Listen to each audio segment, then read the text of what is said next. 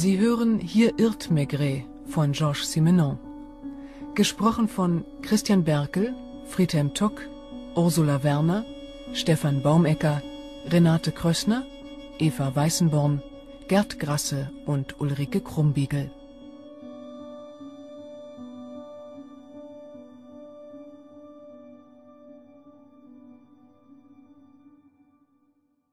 Die Straßen rings um den Triumphbogen waren fast menschenleer.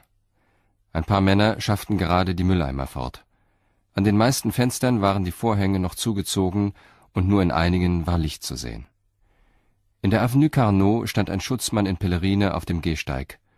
Maigret öffnete das Haustor mit den blank geputzten Messingknöpfen und trat ein. Die Concierge saß in ihrer Loge und frühstückte. Sie sah ihn durch die Glastür an, rührte sich aber nicht. Wie in jedem gepflegten Haus funktionierte der Fahrstuhl geräuschlos. Das Rot der Läufer bildete einen schönen Kontrast zur gebohnerten Eichentreppe. Im dritten Stock sah Maigret drei Türen und stand einen Augenblick unschlüssig da, als die linke Tür aufging und ein Inspektor erschien. Maigret ging durch den Flur, in dem nur ein Kleiderständer und zwei Stühle standen, und betrat einen Salon. In der Ecke eines gelben Sofas war eine brünette junge Frau merkwürdig in sich zusammengesunken. Auf ihrem Schlafrock war ein großer dunkelroter Fleck zu sehen. Sie war nach der rechten Seite abgesackt, ihr Kopf hing herab, die Haare berührten fast den Teppich. Jetzt erst wusste Maigret, was ihm bei seiner Ankunft aufgefallen war. Normalerweise hätte er sich schon auf dem Trottoir durch eine Menge von Schaulustigen hindurchzwängen müssen. Gewöhnlich lagen auch in den Gängen die Hausbewohner auf der Lauer. Hier jedoch war alles so ruhig, als sei nichts geschehen. Am Ende des Flurs fand er die Küchentür. Sie stand offen. Neben dem Gasherd saß die Putzfrau, die die Leiche von Louise Filon entdeckt hatte. Sie blies in eine Tasse Kaffee, um ihn abzukühlen. Wie sie so dasaß, berührten ihre Füße kaum den Boden. Ihre Schuhe waren zu groß und ihr Kleid zu weit. Der Kaffee roch so gut, dass sich Maigret ebenfalls eine Tasse einschenkte. Sind Sie nicht früher einmal wegen Ladendiebstahls verhaftet worden? Deswegen auch. Was ist eigentlich heute Morgen passiert? Ich war um acht hier. Ich stieß die Salontür auf und sah sie. Haben Sie sie angefasst? Ich brauchte sie nicht erst anzufassen, um zu wissen, dass sie tot war. Und weiter? Dann habe ich die Polizei angerufen. Und dann? Nach dem Anruf? Habe ich gewartet. Und was taten Sie inzwischen? Nichts. Sind Sie sicher, dass Sie nichts angerührt haben? Ganz sicher. Haben Sie keinen Revolver gefunden? Ich habe gar nichts gefunden. Sagen Sie, wusste Ihre Arbeitgeberin, dass Sie im Gefängnis waren? Ich habe es ihr erzählt. Und war sie nicht erschrocken? Sie fand es lustig. Es sollte mich nicht wundern, wenn sie selbst schon gesessen hätte. Was meinen Sie damit? Dass sie auf den Strich gegangen ist, bevor sie hier einzog. Woher wissen Sie das? Weil sie es mir erzählt hat. Aber selbst wenn sie es mir nicht gesagt hätte. Haben Sie eine Ahnung, wer Ihre Arbeitgeberin ermordet haben könnte? Nicht im geringsten. Empfing sie oft Besuche? Ich habe nie irgendwelchen Besuch gesehen, allerdings gehe ich mittags weg. Wissen Sie, ob sie Bekannte hat? Alles, was ich weiß, ist, dass in einem der Wandschränke ein Männerschlafrock hängt. Es stehen auch ein paar Männerpantoffeln und eine Zigarrenkiste drin. Wissen Sie, wer der Mann ist? Ich habe ihn nie gesehen. Hat er nie angerufen, wenn Sie hier waren? Doch, manchmal. Wie nannte sie ihn? Pierrot. Ließ sie sich aushalten? Irgendjemand muss ja die Miete bezahlt haben. Und das Übrige.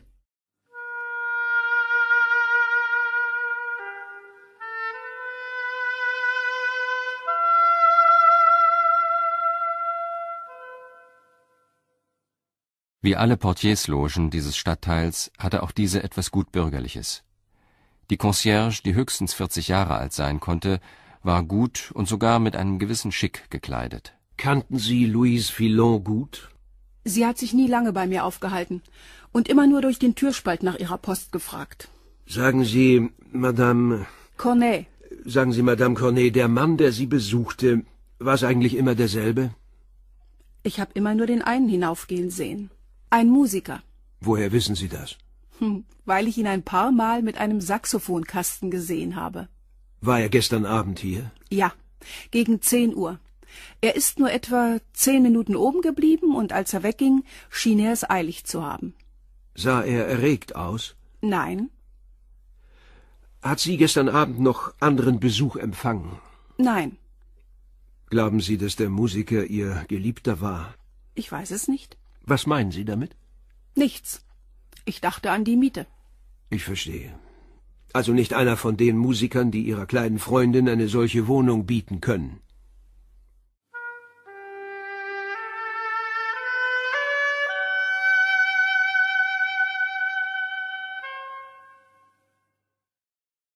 Die Putzfrau saß noch immer in der Küche von Louise Filon. Sie trank jetzt keinen Kaffee mehr, sondern rauchte eine Zigarette. Womit verbrachte Ihre Arbeitgeberin eigentlich ihre Zeit? Gegen zehn stand sie auf, oder vielmehr sie erwachte, stand aber nicht gleich auf. Ich brachte ihr dann den Kaffee ans Bett, sie trank ihn, rauchte und las dabei. Was las sie denn? Zeitschriften und Romane, oft hörte sie auch Radio. Telefonierte sie? Gegen elf, fast jeden Tag. Mit Pierrot. Ja. Haben Sie eine Ahnung, was sie nachmittags tat? Nach den schmutzigen Schuhen zu schließen, muss sie wohl ausgegangen sein. Aß sie abends zu Hause? Es war nur selten schmutziges Geschirr da. Glauben Sie, dass sie sich mit Pierrot traf?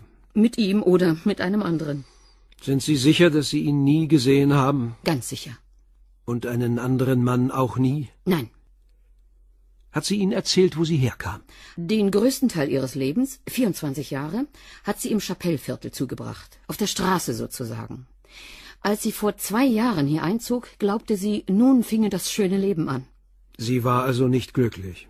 Glauben Sie etwa, dass es lustig für sie war, in einem Haus wie diesem zu leben, wo die Leute sie keines Blickes würdigten, wenn sie ihr auf der Treppe begegneten? Warum ist sie dann hierher gezogen?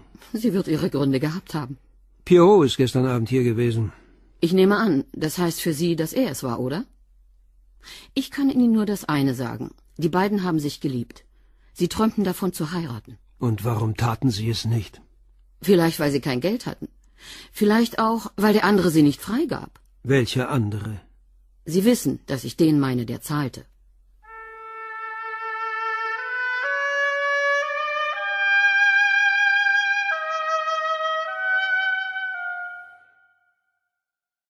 Maigret schickte Inspektor Janvier ins Chapelle-Viertel. Der Wirt des Chez Léon wusste nur, dass Pierrot jeden Morgen um dreiviertel elf seinen Kaffee bei ihm trank und um elf Uhr angerufen wurde. Heute Morgen aber sei der Anruf ausgeblieben. Im Hotel du Var erfuhr Janvier, dass Pierrot seit über einem Jahr dort wohnte und in Wirklichkeit Pierre Hérault hieß, 29 Jahre alt und in Paris geboren war. Er bekomme Damenbesuch von einer, so die alte Frau im Büro des Hotels, die sich lange genug selbst in der Gegend herumgetrieben habe. Sie heiße Louise. Jetzt trage sie Pelzmäntel und komme immer im Taxi daher. In einem Taxifahrerlokal fand Janvier heraus, dass Pierrot um Viertel nach zwölf noch dagewesen war. Dann war ein Zeitungsverkäufer vorbeigekommen, und nachdem Pierrot einen Blick auf die Titelseite geworfen hatte, war er aufgesprungen und hinausgestürzt. Im Grelot, der kleinen Tanzbar, in der Pierrot arbeitete, waren die Wirtsleute betroffen, als Janvier ihnen sagte, dass Louise tot sei. Früher sei sie fast jeden Abend da gewesen. Das sei allerdings zwei Jahre her. Die Wirtsleute gaben an, dass Pierrot am Vorabend gespielt habe und um zwanzig nach neun von Louise angerufen worden sei. Er habe schnell zu ihr gemusst. Um kurz vor elf sei er zurückgekommen. Er habe bis ein Uhr morgens gespielt. Als dann Schluss gewesen sei, habe er wie immer noch ein Glas getrunken. Wenn er gewusst hätte, dass Louise tot sei, hätte er das nicht fertiggebracht. Er sei verrückt nach ihr gewesen, so die Wirtsleute. Dann erzählten sie Janvier noch, dass Louise vor zwei Jahren schwer krank gewesen sei. Es habe keine Hoffnung mehr bestanden, eine Gehirnsache. Dann hätten sie sie operiert und ein paar Wochen später sei sie wiederhergestellt gewesen. Danach sei sie nicht mehr ins Viertel zurückgekommen. Zuerst habe sie eine Wohnung in der Rue Lafayette gehabt, dann in der Avenue Carnot. Das war alles, was Janvier in Erfahrung gebracht hatte, als er gegen drei Uhr in das Polizeipräsidium am Quai des Orfèvres zurückkehrte. Maigret saß in seinem Büro in Hemdsärmeln, weil der Raum überheizt war. Die Luft war blau von Pfeifenrauch. Er versuchte Ordnung in seine Gedanken zu bringen. Irgendwo muss es einen Mann geben, der Louise die Wohnung in der Avenue Carnot eingerichtet hat. Wenn die Concierge nicht gelogen hat, so empfing Louise außer Pierrot keine anderen Besucher. Die Männerpantoffeln und der Schlafrock aus dem Wandschrank gehören bestimmt nicht dem Saxophonspieler. Auf jeden Fall hat noch ein anderer Mann als Pierrot Louise Filon regelmäßig besucht. Wenn ihn die Concierge nie gesehen hat, dann wohnt er vielleicht im Hause selbst. Die Liste der Mieter wohnt genau über ihr. Professor Gouin, einer der größten Spezialisten für Gehirnoperationen.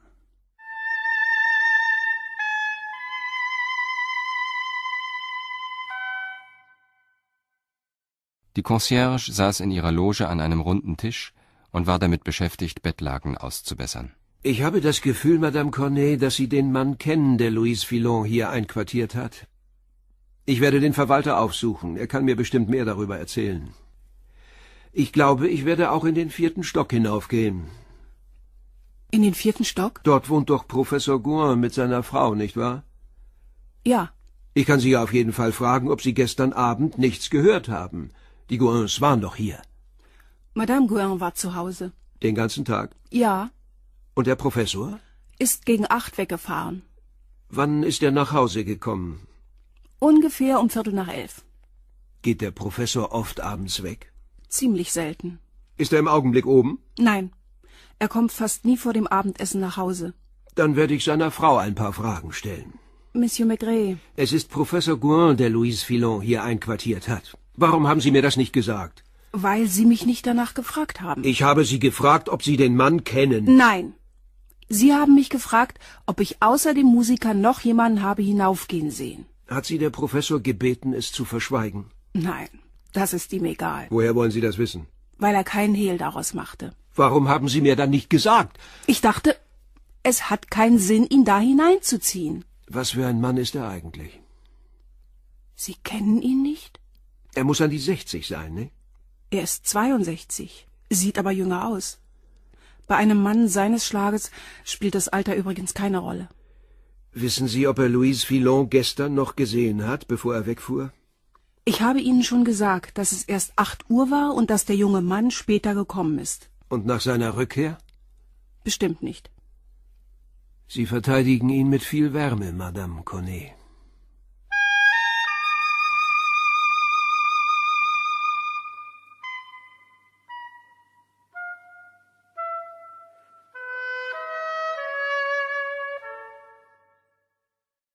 Madame Gouin betrat den Salon von Louise Filon ganz ungezwungen, so wie sie es beim Betreten jeder anderen Wohnung getan hätte.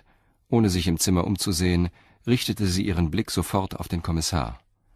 Sie war groß, ziemlich kräftig, aber nicht korpulent. Gouin war 62, sie aber konnte höchstens 45 sein.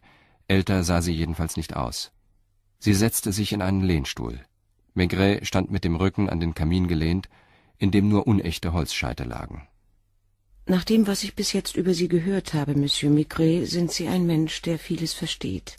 Und gerade weil die anderen es nicht verstehen würden, möchte ich nicht, dass sich diese Geschichte herumspricht. Die ärztliche Tätigkeit meines Mannes ist zu wertvoll für die Menschen, als dass sie durch unnötige Sorgen beeinträchtigt werden dürfte. Darf ich versuchen, Ihnen eine Vorstellung von seinem Charakter zu geben? Ich bitte darum. Obwohl ich seine Frau bin, glaube ich, sagen zu dürfen, dass er ein Genie ist. Die Leute haben genialen Menschen gegenüber im Allgemeinen eine merkwürdige Einstellung. Sie geben gern zu, dass sie anders sind als die anderen, was ihre Intelligenz und ihre berufliche Tätigkeit betrifft, aber sie sind schockiert, wenn ein genialer Mensch auch auf anderen Gebieten eine Ausnahmeerscheinung ist. Etienne hat sich nie etwas aus den sogenannten kleinen Freuden des Daseins gemacht. Er hat so gut wie keine Freunde. Soweit ich mich erinnere, hat er auch nie Urlaub gemacht.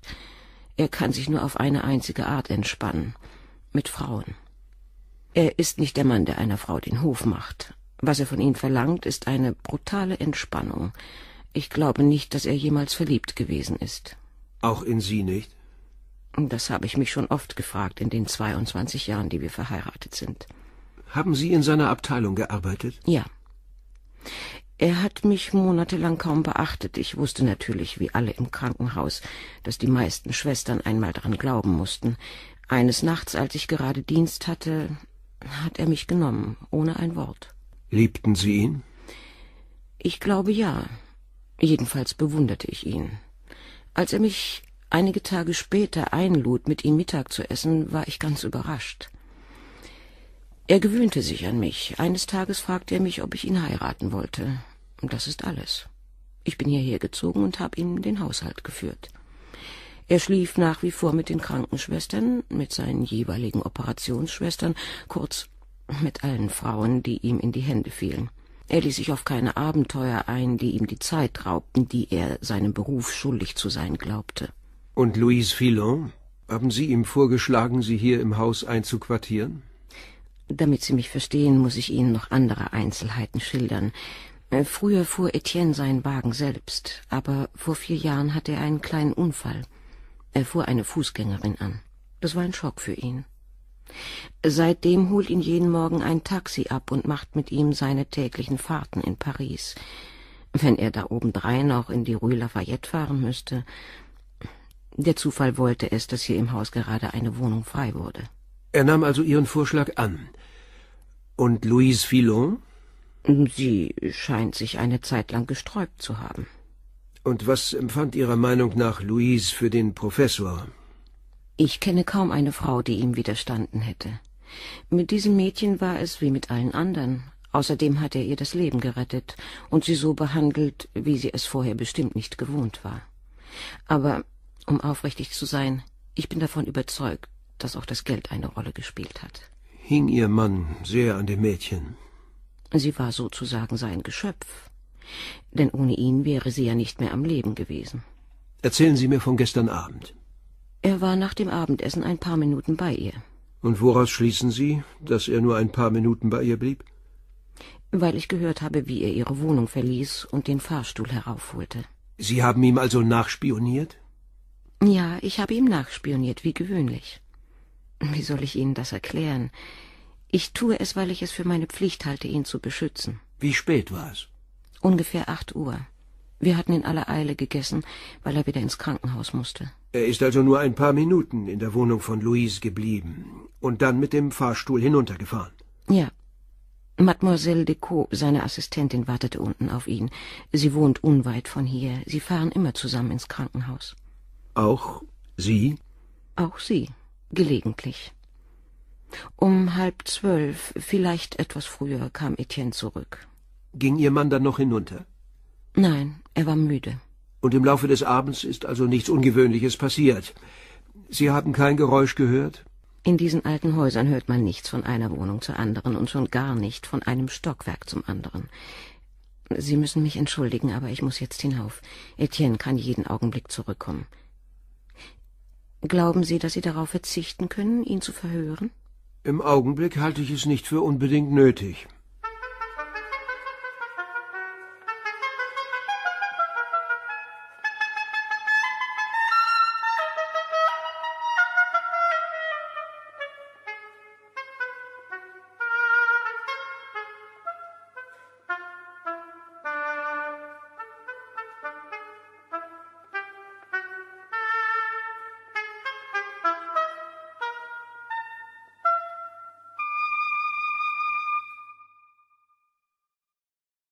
Quai des Orfèvres war die Polizeimaschinerie in Gang gesetzt worden. Auf den Bahnhöfen wurden die Reisenden, deren Äußeres mit der Personenbeschreibung Pierrots übereinstimmte, untersucht. Im Chapelle-Viertel durchkämmte die Polizei Hotels und Pensionen und stand vor dem Hôtel du Var auf Posten. Maigret rief den Gerichtsarzt an. Der Schuss sei aus nächster Nähe abgefeuert worden. Louise Filon sei auf der Stelle tot gewesen, schätzungsweise zwischen neun Uhr und Mitternacht. Ich würde aber eher elf Uhr als Mitternacht annehmen, sagte der Gerichtsarzt zu Maigret. Und ich habe noch etwas entdeckt, das Sie vielleicht überraschen wird. Wissen Sie, dass das Mädchen schwanger war? Es überraschte Maigret allerdings. Er fragte den Gerichtsarzt, wie lange schon. Etwa sechs Wochen, meinte der. Sie habe es wahrscheinlich nicht gewusst. Und wenn, dann erst seit kurzer Zeit. Sechs Wochen. Also musste sie seit einigen Tagen etwas geahnt haben. Maigret war davon überzeugt. Ihre Schwangerschaft war der Schlüssel zur ganzen Tragödie.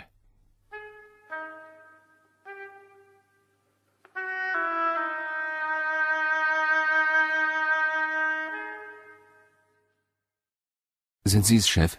fragte am nächsten Morgen Janvier am Telefon. Seine Stimme klang erregt. Janvier hatte die Nacht auf dem Sofa in Louises Wohnung verbracht. Er erzählte Maigret, was vor zehn Minuten dort passiert war. Er war gerade in der Küche gewesen und hatte eine Tasse Kaffee getrunken. Zuerst hörte er ein leises Geräusch, wie einen Schlüssel, der sich im Schloss dreht. Er verhielt sich still, stellte sich aber so hin, dass er in den Salon hineinschauen konnte. Jemand kam herein, ging durch die Diele. Es war der Professor, übrigens größer und dünner, als Janvier ihn sich vorgestellt hatte. Er trug einen langen, dunklen Überzieher und einen Wollschal um den Hals, hatte den Hut auf und hielt Handschuhe in der Hand. Er machte ein paar Schritte, langsam, wie jemand, der nach Hause kommt. Einen Augenblick fragte Janvier sich, was der Professor denn so anstarre, und dann merkte er, dass es seine Schuhe waren. Janvier hatte sie auf dem Teppich stehen gelassen. Der Professor drehte sich um, erblickte ihn und runzelte die Brauen, nur ganz leicht. Und dann stellte er Janvier ganz gelassen die Frage Sind Sie von der Polizei? Janvier war so überrascht von seinem Verhalten, von seiner ganzen Erscheinung, dass er nur nicken konnte. Eine Zeit lang hatten sich der Professor und Janvier wortlos gegenübergestanden. Der Professor hatte unentwegt auf Janviers Füße gestarrt. Schließlich brachte Janvier die Frage heraus Was wollen Sie hier, Professor? Der Professor gebe einem das Gefühl, so Janvier zu Maigret, dass man selber gar nicht da sei. Sogar wenn er einem in die Augen sehe, schenke er einem kaum mehr Beachtung als irgendeine Blume auf der Tapete. Ich wollte nur einen Blick hineinwerfen, weiter nichts, murmelte der Professor. Er warf dann auch wirklich noch einen Blick auf das Sofa, auf dem noch die Decke und das Kissen lagen, die Janvier benutzt hatte. Dann sog er den Kaffeegeruch ein, und mit der gleichen unbeteiligten Stimme fügte er hinzu, es wundert mich, dass Ihr Chef nicht so neugierig war, mich sprechen zu wollen.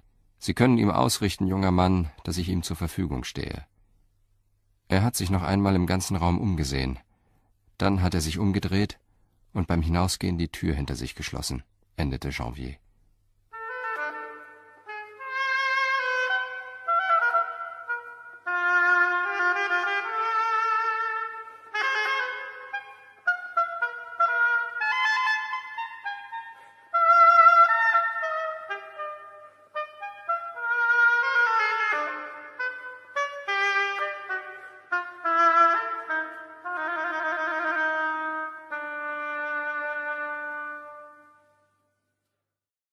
Die Putzfrau stand barfuß im Unterkleid in ihrer Küche und wusch in einem verzinkten Eisenbottich ihre Wäsche.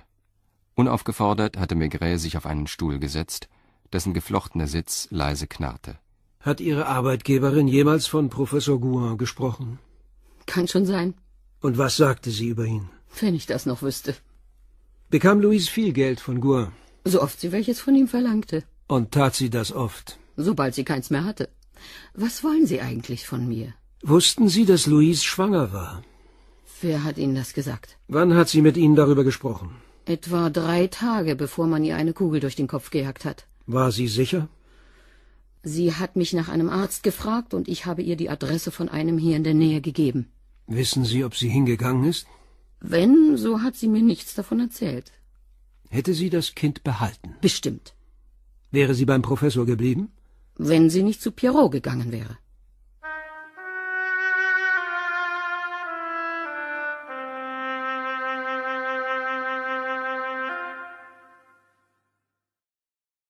Der Arzt wusste gleich Bescheid, als Maigret sich vorstellte. Er sei sicher gewesen, dass Maigret früher oder später zu ihm gekommen wäre. Louise Filon sei vorgestern am Montag um halb sechs bei ihm gewesen. Sie habe gedacht, dass sie schwanger sei und sich Gewissheit verschaffen wollen. Als er ihr gesagt habe, dass an ihrer Schwangerschaft kein Zweifel bestehe, habe sie sich bedankt. Er habe ihr nochmals bestätigen müssen, dass es absolut sicher sei.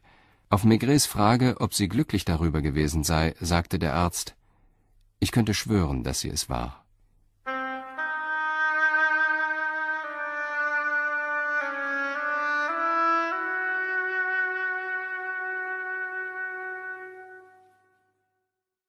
Als Maigret sein Büro betrat, standen belegte Brote und Bier auf einem Tablett bereit. Er trank ein Bier und verbrachte eine Viertelstunde damit, von seinem Fenster aus auf die Lastkähne hinunterzusehen, die über die graue Wasserfläche der Seine glitten. Endlich hörte er Schritte und ging zur Tür. Pierrot war bleich und hatte tiefe Ringe unter den Augen. Er war sichtlich erregt. Er sah sich zuerst im Zimmer um, als wittere er einen Hinterhalt. Maigret hielt ihm ein Bier hin und nahm selbst eins. Sie haben versprochen. Und ich werde mein Wort halten. Ich bin aus freien Stücken hergekommen. Sie haben richtig gehandelt. Ich schwöre Ihnen, dass ich sie nicht umgebracht habe.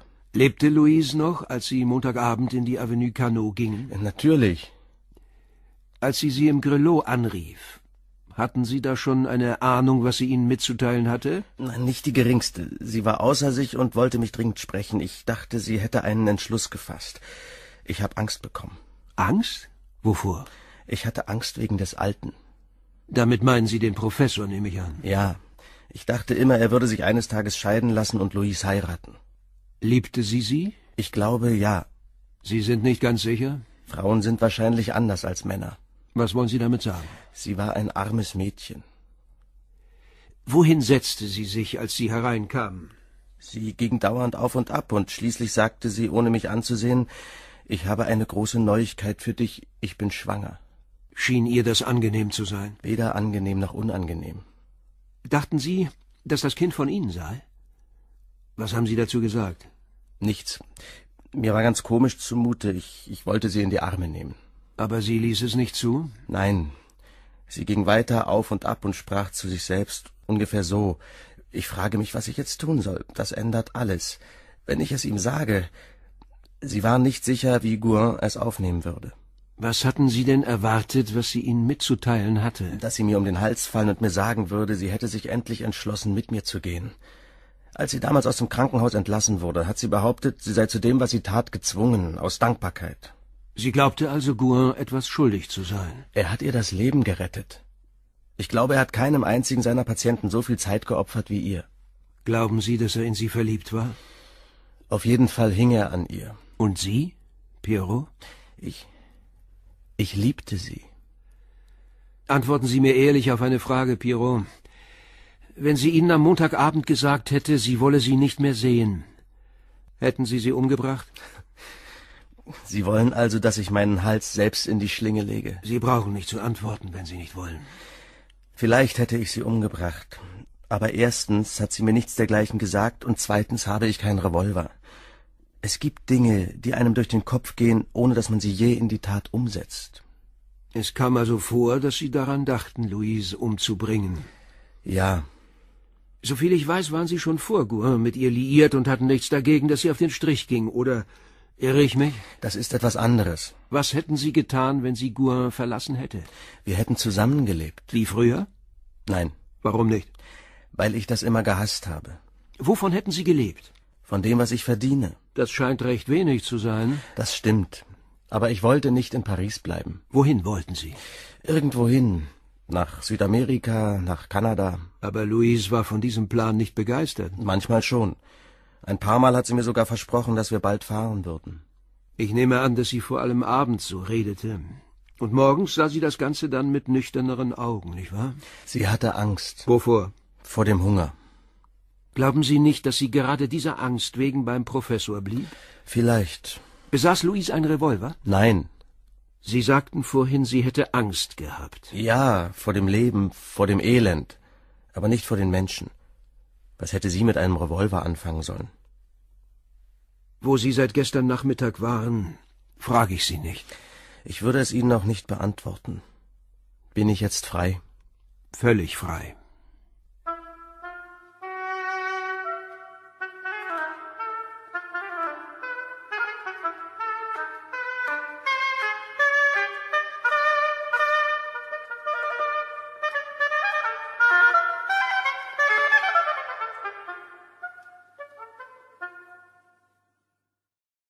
Bevor Mademoiselle Decaux die Assistentin von Professor Gouin Maigret öffnete, hörte er sie hinter der geschlossenen Tür in ein anderes Zimmer gehen, und es dauerte ein paar Sekunden, ehe sie zurückkam. Als sich der Türflügel öffnete und er sie in Morgenrock und Pantoffeln vor sich stehen sah, verstand Maigret die Verzögerung. Die Wohnung von Lucille Decaux war äußerst sauber gehalten. Mademoiselle Decaux führte Maigret in einen Salon, in dem es außer einem Divan Regale voller Bücher, einen Plattenspieler und stapelweise Schallplatten gab. Über dem Kamin, in dem die junge Frau schon ein paar Holzscheite angezündet hatte, hing eine gerahmte Fotografie von Etienne Gouin. Sie deutete auf einen Fauteuil, setzte sich auf den Rand des Divans und zog den Morgenrock über ihre nackten Beine. Darf ich Sie fragen, wie alt Sie sind? 36.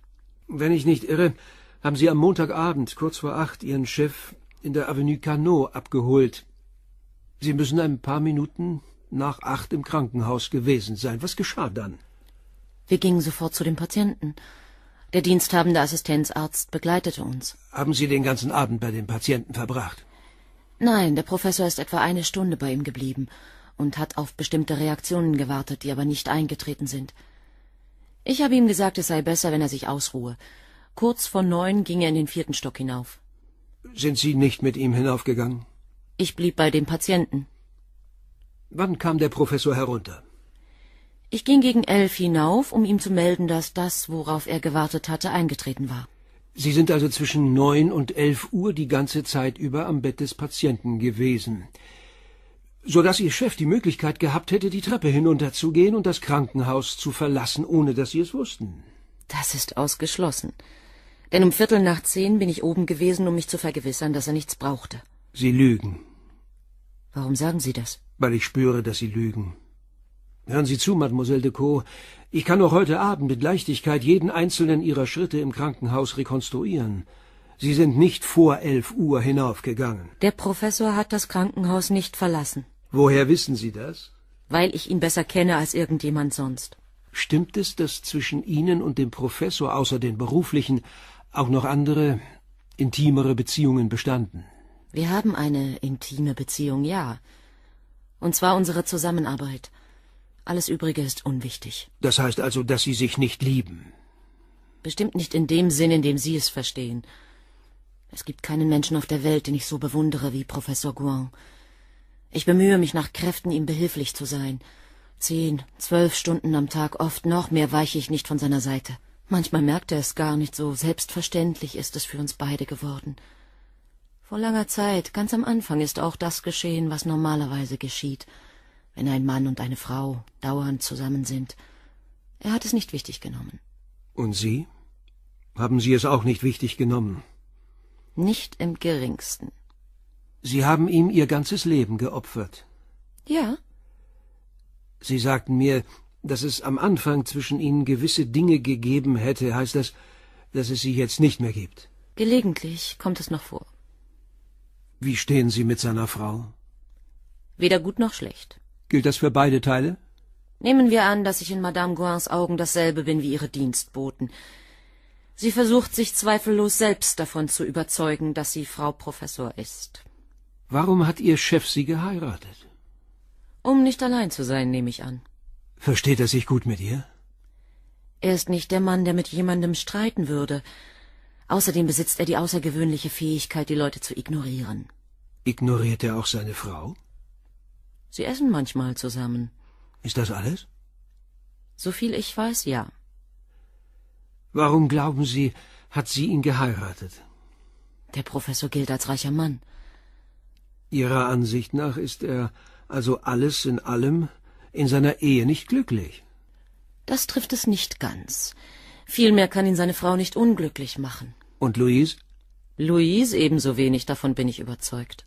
Wie erklären Sie es dann, dass er über zwei Jahre lang... Warum stellen Sie diese Frage nicht dem Professor selbst? Aber er hätte sich nicht scheiden lassen, um Louise zu heiraten. Er hätte sich nie durch eine Scheidung das Leben kompliziert. Auch nicht, um Sie zu heiraten? Daran hat er nie gedacht. Und Sie? Ich auch nicht. Ich hätte dabei nur verloren. Sehen Sie, eigentlich bin ich es, die am besten abgeschnitten hat.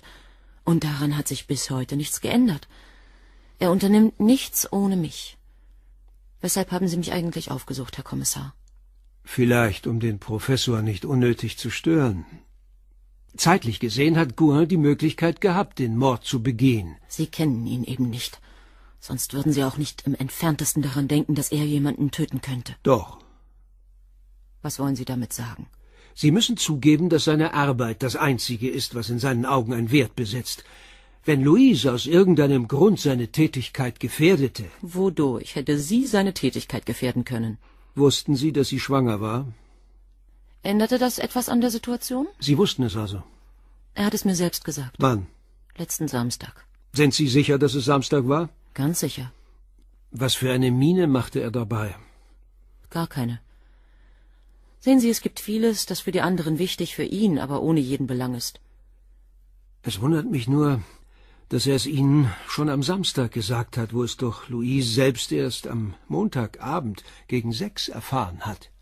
Sie vergessen, dass er Arzt ist und dass er mit ihr schlief. Angenommen, Louise Filon hätte es sich in den Kopf gesetzt, sich von ihm heiraten zu lassen. Und selbst in diesem Fall hätte er sie nicht getötet. Sie sind auf der falschen Fährte, Herr Kommissar. Ich will nicht behaupten, dass Sie den wahren Schuldigen auf freien Fuß gesetzt haben. Ich sehe nämlich auch nicht, weshalb dieser Pierrot das Mädchen umgebracht haben sollte. Sie haben also Ihre eigene Meinung. Ich versuche gar nicht mehr eine Meinung zu bilden. Denken Sie an seine Frau? Ich denke an niemanden. Haben Sie sie im Verdacht, Mademoiselle de Caux? Ich denke nur, dass Sie keine Bedenken haben, sich danach zu erkundigen, was mein Chef am Montagabend getan hat. Da Sie aber das Tun und Treiben seiner Frau an jenem Abend nicht sonderlich zu interessieren scheint. Hat der Professor mit Ihnen über den Mord gesprochen? Am Dienstagnachmittag sagte er mir, die Polizei werde ihn bestimmt anrufen und sprechen wollen. Hat ihn der Tod von Louise berührt? Wenn es ihm nahe gegangen ist, so hatte sich jedenfalls nichts anmerken lassen. Er ist wie immer.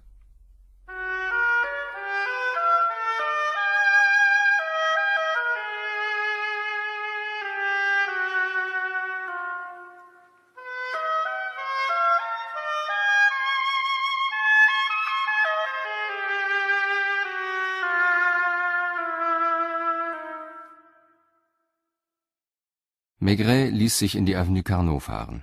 Früher oder später musste er sich zu einer Begegnung mit Gouin entschließen. Warum verschob er es immer wieder? Es war, als kreiste er ständig um ihn herum und wagte sich nicht an ihn heran, als flößte ihm die Persönlichkeit des Professors eine Art Scheu ein.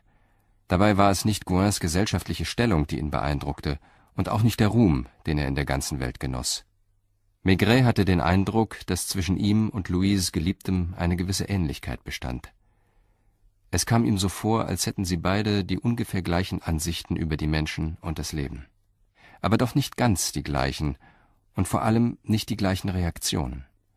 Sie waren eher Gegensätze, aber gleichwertige Gegensätze. Er hatte sein Möglichstes getan, um sich vorzubereiten. Er musste sich selbst daran erinnern, dass er sich in seiner Eigenschaft als Kommissar der Kriminalpolizei in die Avenue Carnot begab und nicht als Mensch, der sich für einen anderen Menschen interessierte. Es war zwanzig vor neun, als Maigret den Messinggriff der elektrischen Klingel bei den Gouins zog. Er hörte Schritte näher kommen, und ein ziemlich junges, recht hübsches Dienstmädchen in schwarzem Kleid und schmuckem Schürzchen öffnete ihm die Tür. Das Mädchen hängte Maigrets Mantel in den Schrank und verschwand. Dann kam Gouin. Er wirkte noch größer, noch magerer, als Maigret ihn sich vorgestellt hatte. Er ging ihm durch einen Korridor voran, der in die Bibliothek führte. Die Wände des Raumes waren fast ganz mit gebundenen Büchern bedeckt. Sanftes Licht erhellte den Raum, und im Kamin brannten Holzscheite. Gouin deutete auf ein paar Fauteuils und nahm selbst Platz. In diesem Augenblick begegneten sich ihre Blicke zum ersten Mal, und Maigret las in den Augen des Professors etwas wie einen Vorwurf. Vielleicht, aber dessen war er sich nicht ganz sicher, sprach auch Enttäuschung daraus. Das war schon deshalb schwer zu sagen, weil Gouin äußerlich eher banal wirkte. Die Augen waren klein, hell und ohne besonderen Glanz. Dennoch hatte sein Blick etwas ungemein Durchdringendes. Jetzt, da dieser Blick auf ihm ruhte, hätte Maigret schwören können, dass Gouin auf ihn ebenso neugierig war, wie er auf Gouin. Fand auch Gouin Maigret banaler, als er ihn sich vorgestellt hatte?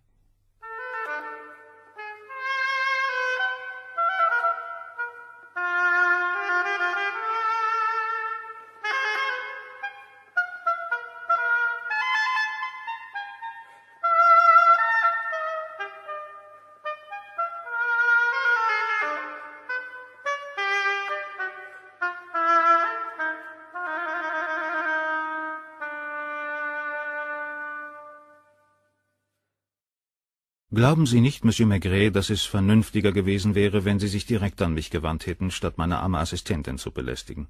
Sie meinen Mademoiselle de Caux. Sie schien mir nicht im geringsten verlegen zu sein. Ich nehme an, dass sie Sie gleich danach angerufen und Ihnen alles getreulich mitgeteilt hat. Sie hat mir alle Fragen und Antworten wiederholt. Sie hielt das für wichtig. Frauen haben fortwährend das Bedürfnis, sich von ihrer eigenen Wichtigkeit zu überzeugen. Lucille de Caux ist Ihre engste Mitarbeiterin, nicht wahr? Sie ist meine Assistentin. Sie hat Ihnen wohl auch erzählt, dass sie mich überall hin begleitet. Das gibt ihr die Illusion, in meinem Leben eine wesentliche Rolle zu spielen. Ist sie in Sie verliebt? Sie wäre in jeden ihrer Vorgesetzten verliebt, vorausgesetzt, dass er berühmt ist. Sie scheint Ihnen äußerst ergeben zu sein, so ergeben, dass sie beispielsweise sogar einen Meineid ablegen würde, um Ihnen aus der Klemme zu helfen. Das würde sie ohne Zögern tun. Meine Frau hat sich ja auch schon mit Ihnen in Verbindung gesetzt. Hat sie es Ihnen selbst erzählt? Genau wie vorhin Lucille hat sie mir sämtliche Einzelheiten ihrer Unterhaltung wiedergegeben. Ich habe Ihnen noch gar nicht gesagt, dass Sie heute wie gerufen kommen. Davon abgesehen hatte ich ohnehin den Wunsch, Sie kennenzulernen. Während ich mit meiner Frau beim Abendessen saß, erhielt ich einen Anruf von Luises Putzfrau. Sie bildet sich ein, ein Mittel zu besitzen, um mich zu erpressen. Sie hat nicht lange darum herumgeredet. Ich habe den Revolver, Monsieur Gouin, sagte sie. Sie hat mir also mitgeteilt, dass sie am Montagmorgen beim Betreten des Salons den Revolver gefunden hat, der auf dem Tisch lag. Hat sie ausdrücklich gesagt, auf dem Tisch? Ja. Sie sagte noch, sie hätte ihn auf dem Treppenflur versteckt, in einem Keramiktopf, in dem eine Grünpflanze steht. Kurz, der Revolver befindet sich in ihrem Besitz und sie ist bereit, ihn mir gegen eine gewisse Summe zurückzuerstatten. Zurückzuerstatten? Es ist meiner. Sie hat ihn mir genau beschrieben, Seriennummer und so weiter. Befindet sich die Waffe schon lange in Ihrem Besitz? Seit acht oder neun Jahren. Ich war nach Belgien gefahren, um dort zu operieren. Damals ging ich öfter auf Reisen als heute. Meine Frau hatte mir immer wieder gesagt, sie fürchte sich, tagelang, manchmal auch wochenlang allein in der Wohnung zu bleiben. Zufällig waren in dem Hotel, in dem ich abstieg, in einer Vitrine verschiedene Schusswaffen belgischen Fabrikats ausgestellt, und da kam ich auf die Idee. Ich muss noch hinzufügen, dass ich sie nicht verzollt habe. In welchem Zimmer befand sich der Revolver? In einer Schublade meines Schreibtischs. Da habe ich ihn jedenfalls zum letzten Mal gesehen. Vor einigen Monaten. Ich habe ihn nie gebraucht. Ich hatte ihn völlig vergessen, bis vorhin der Anruf kam.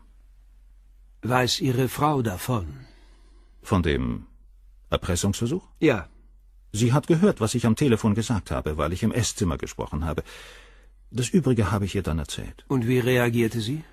Sie riet mir nachzugeben. Haben Sie sich nicht gefragt, warum sie das tat?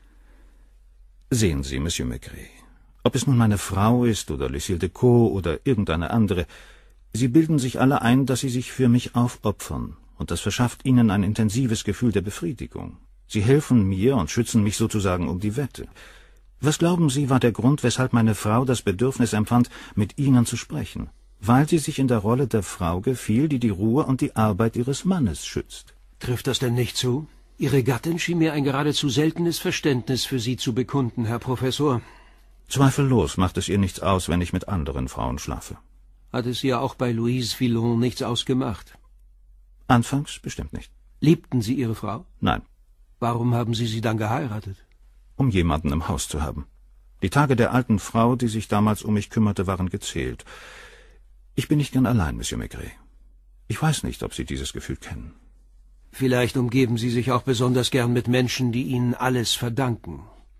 In gewisser Weise stimmt das. Wusste Ihre Frau, was sie erwartete, als sie sie heiratete? Ganz genau. Und wann begann sie unangenehm zu werden? Unangenehm wurde sie nie. Sie haben sie ja gesehen. Sie ist eine perfekte Hausfrau und hält die Wohnung fantastisch in Ordnung. Noch nie hat sie darauf bestanden, dass ich abends mit ihr ausgehe oder Freunde zum Essen einlade. Wenn ich richtig verstehe, verbringt sie ihre Tage damit, auf Sie zu warten. So ungefähr. Es genügt ihr, meine Frau und eines Tages auch meine Witwe zu sein. Halten Sie sie für berechnend? Sagen wir, dass es ihr nicht unangenehm sein wird, über das Vermögen zu verfügen, das ich ihr hinterlasse. Ich möchte wetten, dass sie in diesem Augenblick an der Tür horcht. Es wäre ihr bestimmt lieber gewesen, wenn ich sie in ihrem Beisein im Salon empfangen hätte. Ihre Frau behauptet, dass sie sie erst auf den Gedanken gebracht hat, Louise Filon hier im Haus einzumieten. Das stimmt, ich hatte gar nicht daran gedacht. Ich wusste auch gar nicht, dass eine Wohnung frei geworden war. Kam Ihnen das nicht merkwürdig vor? Weshalb? Liebten Sie Louise? Hören Sie, Monsieur Maigret, Sie gebrauchen dieses Wort nun schon zum zweiten Mal. Wir Mediziner kennen es nicht. Brauchten Sie sie? Physisch, ja. Muss ich Ihnen das wirklich erklären? Und Pierrot? Waren Sie nicht eifersüchtig auf ihn? Es wäre mir lieber gewesen, wenn es ihn nicht gegeben hätte. Und was empfand Louise für Sie? Was hätte sie empfinden sollen? Ich denke, Sie kennen ihre Geschichte. Natürlich sprach sie von Dankbarkeit und Zuneigung. Die Wahrheit ist einfacher. Sie wollte nicht wieder in der Misere leben. Sie wissen ja, wie das ist. Die Menschen, die wirklich Hunger gelitten haben, die im schwärzesten Sinn des Wortes arm gewesen sind und sich auf irgendeine Weise aus diesem Zustand befreit haben, würden alles, aber auch alles tun, um nicht wieder in ihr altes Elend zu geraten. Liebte sie Pierrot? Wenn Sie unbedingt auf diesem Wort bestehen. Irgendetwas Sentimentales musste es ja wohl in ihrem Leben geben. Und außerdem musste sie sich Probleme schaffen. Ich habe Ihnen vorhin schon gesagt, dass Frauen das Bedürfnis haben, sich wichtig zu fühlen. Das ist zweifellos der Grund dafür, warum sie sich das Dasein komplizieren, sich Fragen stellen und sich immer einbilden, eine Wahl treffen zu müssen. Eine Wahl? Wieso? Louise bildete sich ein, die Wahl zwischen mir und dem Musiker zu haben. Hatte sie diese Wahl nicht? Nein. Warum, habe ich Ihnen bereits gesagt. Hat sie nie gedroht, Sie zu verlassen? Manchmal behauptete sie, mit diesem Gedanken zu spielen. Fürchteten Sie nicht, dass sie es tun könnte? Nein. Und sie hat auch nicht versucht, Sie zu einer Heirat zu überreden? Soweit ging ihr Ehrgeiz nicht. Ich bin überzeugt, dass der Gedanke, Madame Gouin zu werden, sie ein wenig erschreckt hätte. Was sie brauchte, war materielle Sicherheit. Eine geheizte Wohnung, drei Mahlzeiten am Tag, anständige Kleider. Was wäre aus ihr geworden, wenn es sie nicht mehr gegeben hätte? Ich hatte eine Lebensversicherung zu ihren Gunsten abgeschlossen. Auch eine zugunsten von Mademoiselle de Caux? Nein, das ist unnötig. Wenn ich nicht mehr bin, wird sie sich genauso an meine Nachfolger hängen, wie sie sich an mich gehängt hat. Es wird sich nichts in ihrem Leben verändern. Fühlen Sie sich nicht manchmal einsam in der Welt? So wie Sie sie sehen. Der Mensch ist einsam, wie immer er darüber auch denken mag. Es genügt, das einzusehen und sich damit abzufinden. Ich dachte, die Einsamkeit sei Ihnen ein Gräuel. Damit meinte ich eine andere Einsamkeit. Sagen wir, wenn Sie das vorziehen, dass ich mich vor dem Alleinsein fürchte. Ich bin nicht gern allein in einer Wohnung, auf der Straße oder im Wagen. Es handelt sich um eine physische Einsamkeit, nicht um eine seelische. Wie haben Sie reagiert, als Sie merkten, dass Louise schwanger war? Ich habe überhaupt nicht reagiert. Hat sie es Ihnen nicht gesagt? Nein. Ich nehme an, dass sie es noch nicht wusste. Sie erfuhr es am Montag gegen sechs Uhr. Sie sind danach bei ihr gewesen. Hat sie Ihnen nichts davon gesagt? Sie sagte nur, dass sie sich nicht gut fühle und sich hinlegen wolle. Dachten Sie, das Kind sei von Ihnen? Ich habe an nichts dergleichen gedacht. Haben Sie nie Kinder gehabt? So viel ich weiß nicht. Und Sie haben sich auch nie eins gewünscht. Weshalb denn? Es gibt Leute, die keine ernsthaften Interessen im Leben haben und sich einbilden, sie könnten durch ein Kind ihrem Leben irgendeine Bedeutung oder einen Sinn verleihen. Sie glauben auf diese Weise etwas zu hinterlassen. Das ist bei mir nicht der Fall. Glauben Sie nicht, dass Louise angesichts Ihres Alters und des Alters Ihres Geliebten meinte, das Kind könne nur von Pierrot sein? Vom wissenschaftlichen Standpunkt aus ist das unhaltbar. Ich spreche von dem, was in Ihrem Kopf vorging. Das ist möglich. Genügte das nicht, um den Entschluss zu fassen, Sie zu verlassen und mit Pierrot zu leben? Nein, mir gegenüber hätte sie bestimmt behauptet, das Kind sei von mir. Hätten Sie es anerkannt? Warum nicht?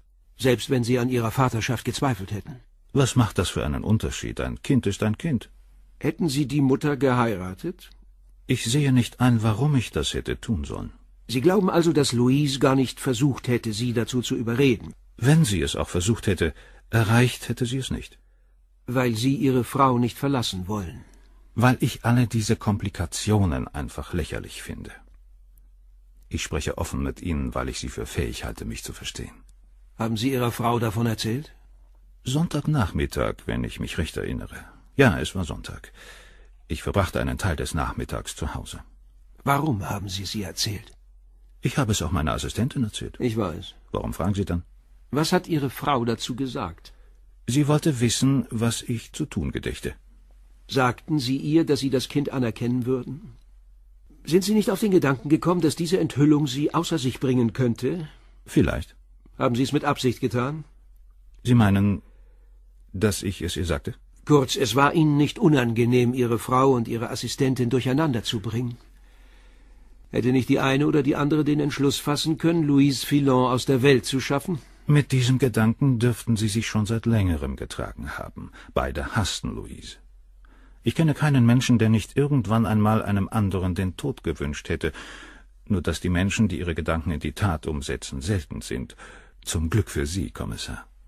Louise Filon ist ermordet worden. Jemand ist bis zum Äußersten gegangen. Haben Sie sich nicht gefragt, wer es war? Das ist Ihre Aufgabe, nicht meine. Haben Sie sich überlegt, dass Sie selber in Betracht kommen? Natürlich. Ich war erstaunt, dass Sie mich nicht verhörten. Montagabend sind Sie also ins Krankenhaus gefahren, aber nur eine halbe Stunde am Bett Ihres Patienten geblieben. Ich ging in ein Zimmer im vierten Stock hinauf, um mich auszuruhen. Sie befanden sich allein in dem Zimmer. Und nichts hinderte Sie daran, das Krankenhaus unbemerkt zu verlassen, im Taxi hierher zu fahren und dann wieder in das Zimmer zurückzukehren. Um welche Zeit soll sich das Ihnen zufolge ereignet haben? Zwischen neun und elf Uhr natürlich. Und um wie viel Uhr war Pierre Hérault bei Louise? Um dreiviertel zehn. Also hätte ich Louise danach umbringen müssen. In Anbetracht der Fahrtdauer hätte ich also zwischen zehn und halb elf nicht im Krankenhaus sein können. Um fünf nach zehn aber, Monsieur Maigret, ist zufällig einer meiner Kollegen, der im dritten Stock eine Konsultation gehabt hatte, zu mir heraufgekommen. Er hatte Zweifel bezüglich einer Diagnose und bat mich, einen Augenblick mitzukommen. Ich ging in den dritten Stock hinunter. Weder meine Assistentin noch mein Personal konnte ihnen das sagen, denn sie wussten nichts davon. Es handelt sich also nicht um die Aussage einer Frau, die mir unbedingt aus der Klemme heraushelfen will, sondern um fünf oder sechs Personen, darunter auch der Patient, der mich nie zuvor gesehen hatte und der wahrscheinlich nicht einmal meinen Namen kennt. Ich habe keinen Augenblick gedacht, dass Sie Louise ermordet hätten. Ich hatte nur erwartet, dass Sie die Person, die den Mord begangen hat, decken würden. Ich nehme an, Monsieur Gouin, dass Ihre Frau Zugang zu Ihrer Schreibtischschublade hatte. Oder war sie etwa abgeschlossen? Ich schließe nie etwas ab. Wissen Sie, ob Ihre Frau Louise jemals in ihrer Wohnung im dritten Stock besucht hat? Da kennen Sie sich schlecht. Glauben Sie, dass sie immer noch an der Tür horcht? Ich bin überzeugt. Tatsächlich öffnete sich jetzt die Verbindungstür. Madame Gouin kam zwei Schritte näher, nur so weit, dass sie ihrem Mann in die Augen sehen konnte. Noch nie hatte Maigret in den Augen eines Menschen so viel Verachtung gesehen. Der Professor hielt dem Blick stand. Ich bin gezwungen, Sie zu verhaften, Madame Gouin. Ich weiß. Ich nehme an, Sie haben alles mit angehört. Ja. Gestehen Sie, dass Sie Louise Filon ermordet haben. Er wusste, dass es so kommen würde.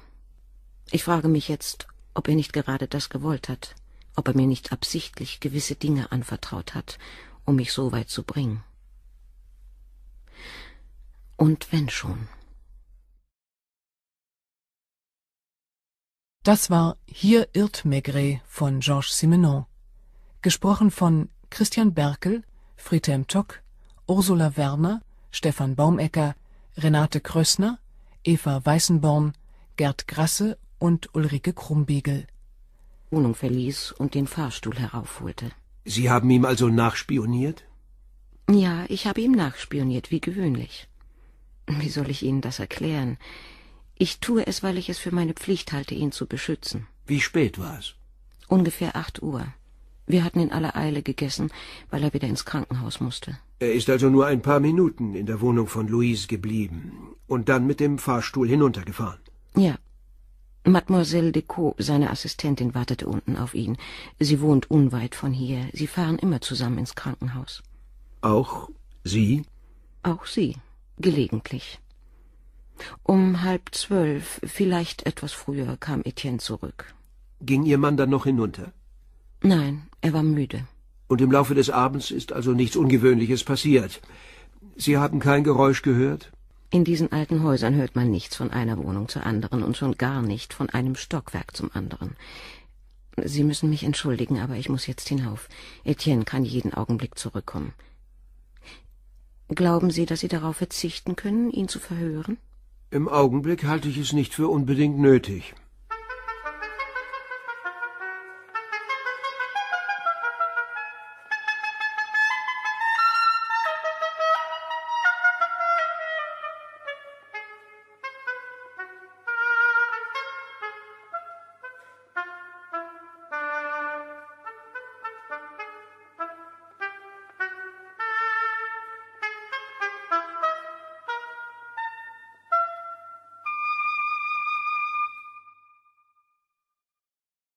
Am Quai des Orfèvres war die Polizeimaschinerie in Gang gesetzt worden.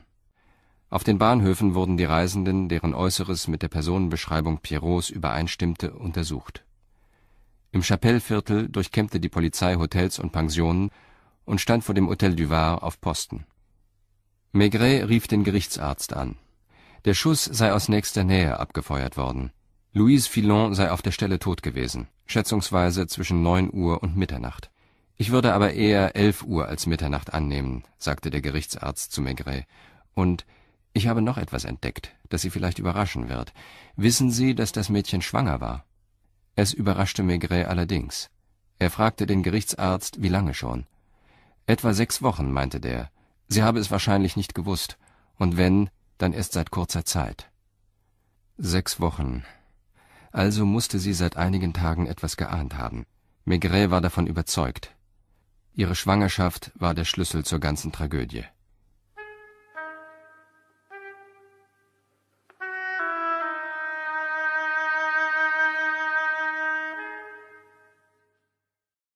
Sind Sie's Chef? fragte am nächsten Morgen. Ich habe noch etwas entdeckt, das Sie vielleicht überraschen wird. Wissen Sie, dass das Mädchen schwanger war? Es überraschte Maigret allerdings. Er fragte den Gerichtsarzt, wie lange schon. Etwa sechs Wochen, meinte der. Sie habe es wahrscheinlich nicht gewusst. Und wenn, dann erst seit kurzer Zeit. Sechs Wochen. Also musste sie seit einigen Tagen etwas geahnt haben. Maigret war davon überzeugt. Ihre Schwangerschaft war der Schlüssel zur ganzen Tragödie.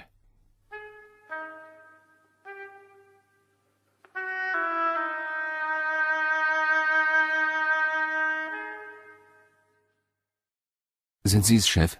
fragte am nächsten Morgen Janvier am Telefon. Seine Stimme klang erregt. Janvier hatte die Nacht auf dem Sofa in Louises Wohnung verbracht. Er erzählte Maigret, was vor zehn Minuten dort passiert war. Er war gerade in der Küche gewesen und hatte eine Tasse Kaffee getrunken.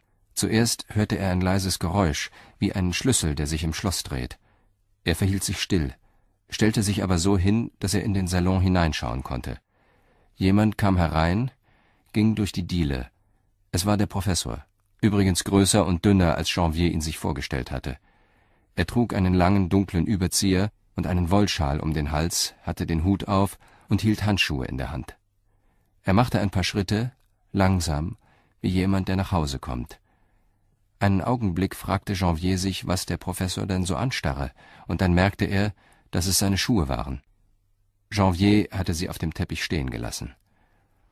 Der Professor drehte sich um, erblickte ihn und runzelte die Brauen, nur ganz leicht. Und dann stellte er Janvier ganz gelassen die Frage Sind Sie von der Polizei? Janvier war so überrascht von seinem Verhalten, von seiner ganzen Erscheinung, dass er nur nicken konnte. Eine Zeit lang hatten sich der Professor und Janvier wortlos gegenübergestanden. Der Professor hatte unentwegt auf Janviers Füße gestarrt. Schließlich brachte Janvier die Frage heraus was wollen Sie hier, Professor? Der Professor gebe einem das Gefühl, so Janvier zu Maigret, dass man selber gar nicht da sei. Sogar wenn er einem in die Augen sehe, schenke er einem kaum mehr Beachtung als irgendeine Blume auf der Tapete. Ich wollte nur einen Blick hineinwerfen, weiter nichts, murmelte der Professor. Er warf dann auch wirklich noch einen Blick auf das Sofa, auf dem noch die Decke und das Kissen lagen, die Janvier benutzt hatte. Dann sog er den Kaffeegeruch ein und mit der gleichen unbeteiligten Stimme fügte er hinzu Es wundert mich, dass Ihr Chef nicht so neugierig war, mich sprechen zu wollen. Sie können ihm ausrichten, junger Mann, dass ich ihm zur Verfügung stehe. Er hat sich noch einmal im ganzen Raum umgesehen. Dann hat er sich umgedreht und beim Hinausgehen die Tür hinter sich geschlossen, endete Janvier.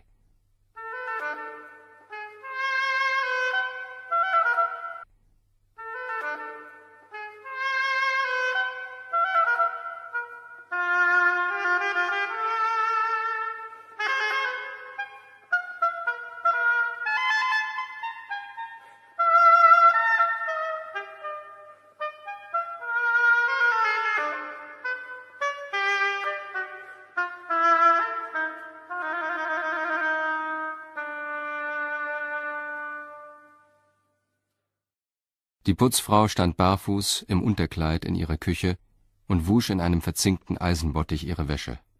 Unaufgefordert hatte Maigret sich auf einen Stuhl gesetzt, dessen geflochtener Sitz leise knarrte. Hat Ihre Arbeitgeberin jemals von Professor Gouin gesprochen? Kann schon sein. Und was sagte sie über ihn? Wenn ich das noch wüsste. Bekam Louise viel Geld von Gour? So oft sie welches von ihm verlangte. Und tat sie das oft? Sobald sie keins mehr hatte. Was wollen Sie eigentlich von mir? Wussten Sie, dass Louise schwanger war? Wer hat Ihnen das gesagt? Wann hat sie mit Ihnen darüber gesprochen? Etwa drei Tage, bevor man ihr eine Kugel durch den Kopf gejagt hat. War sie sicher?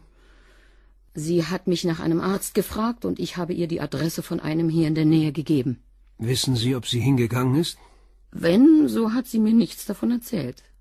Hätte sie das Kind behalten? Bestimmt. Wäre sie beim Professor geblieben? Wenn sie nicht zu Pierrot gegangen wäre.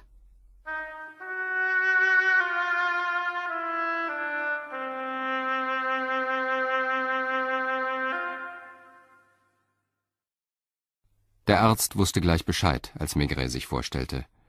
Er sei sicher gewesen, dass Maigret früher oder später zu ihm gekommen wäre. Louise Filon sei vorgestern am Montag um halb sechs bei ihm gewesen. Sie habe gedacht, dass sie schwanger sei und sich Gewissheit verschaffen wollen. Als er ihr gesagt habe, dass an ihrer Schwangerschaft kein Zweifel bestehe, habe sie sich bedankt. Er habe ihr nochmals bestätigen müssen, dass es absolut sicher sei. Auf Maigrets Frage, ob sie glücklich darüber gewesen sei, sagte der Arzt, ich könnte schwören, dass sie es war.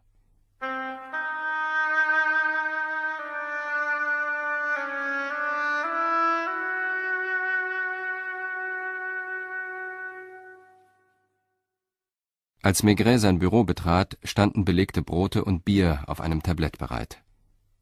Er trank ein Bier und verbrachte eine Viertelstunde damit, von seinem Fenster aus auf die Lastkähne hinunterzusehen, die über die graue Wasserfläche der Seine glitten. Endlich hörte er Schritte und ging zur Tür. Pierrot war bleich und hatte tiefe Ringe unter den Augen. Er war sichtlich erregt. Er sah sich zuerst im Zimmer um, als wittere er einen Hinterhalt. Maigret hielt ihm ein Bier hin und nahm selbst eins. Sie haben versprochen. Und ich werde mein Wort halten. Ich bin auch. Dem Tuck, Ursula Werner, Stefan Baumecker, Renate Krössner, Eva Weißenborn, Gerd Grasse und Ulrike Krumbiegel.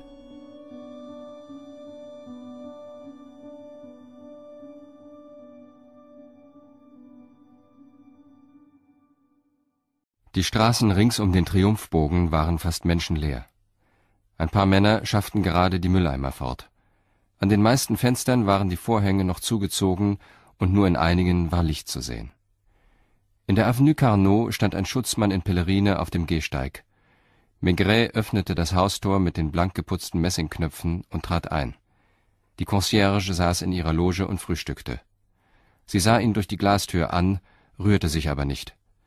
Wie in jedem gepflegten Haus funktionierte der Fahrstuhl geräuschlos. Das Rot der Läufer bildete einen schönen Kontrast zur gebohnerten Eichentreppe. Im dritten Stock sah Maigret drei Türen und stand einen Augenblick unschlüssig da, als die linke Tür aufging und ein Inspektor erschien. Maigret ging durch den Flur, in dem nur ein Kleiderständer und zwei Stühle standen, und betrat einen Salon.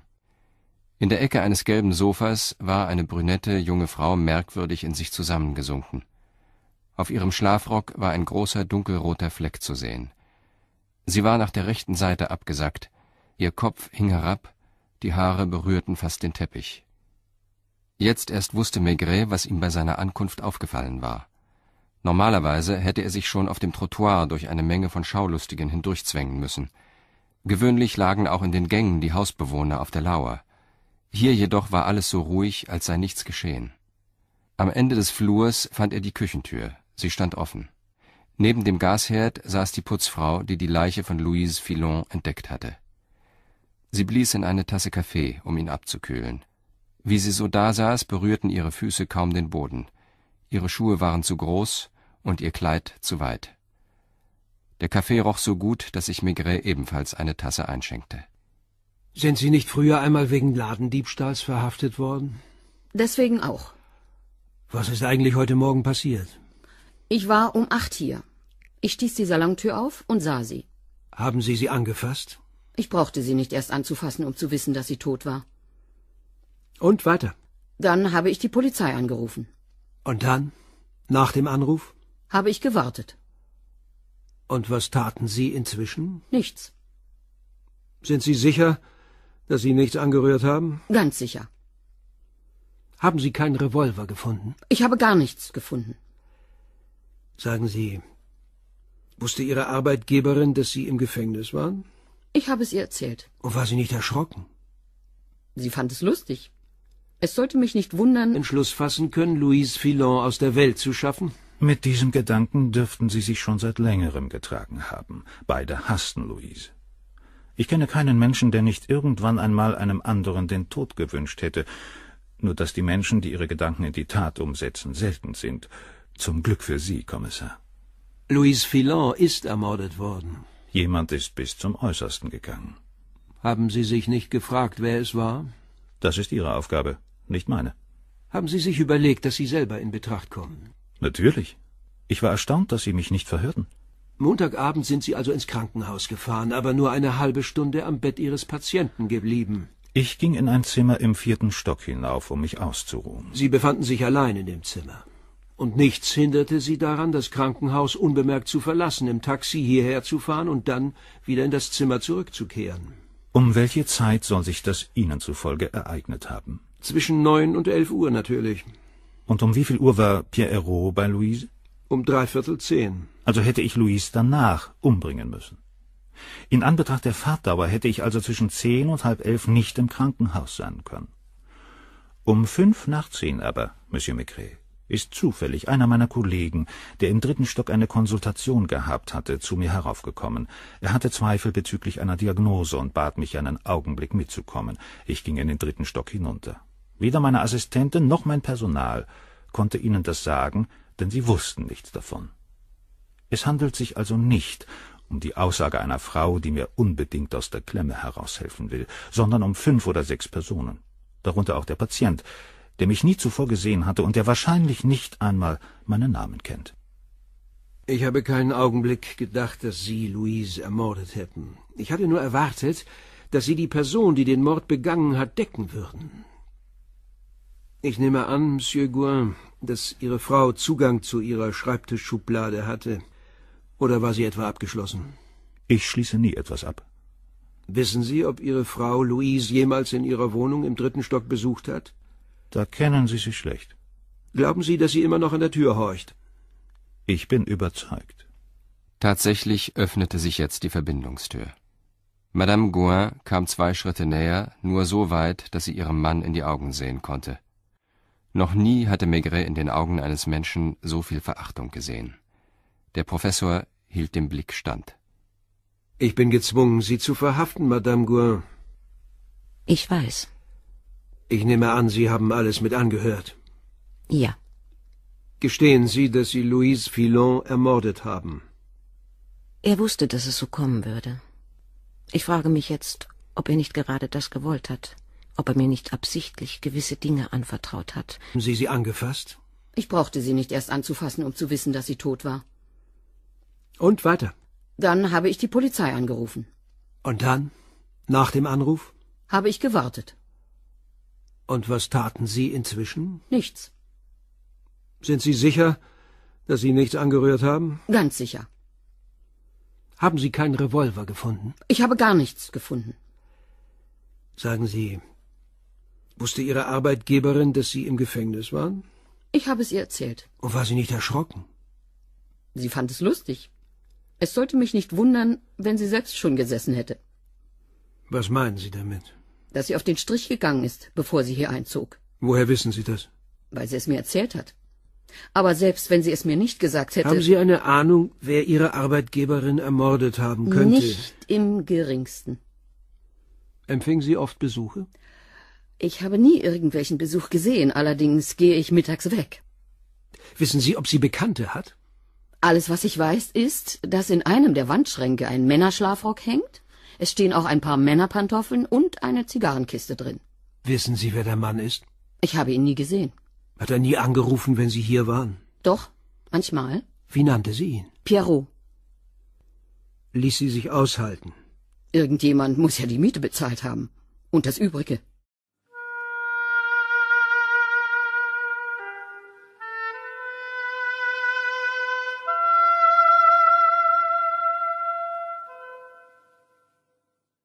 Wie alle Portierslogen dieses Stadtteils hatte auch diese etwas Gutbürgerliches. Die Concierge, die höchstens 40 Jahre alt sein konnte, war gut und sogar mit einem gewissen Schick gekleidet. Kannten Sie Louise Filon gut?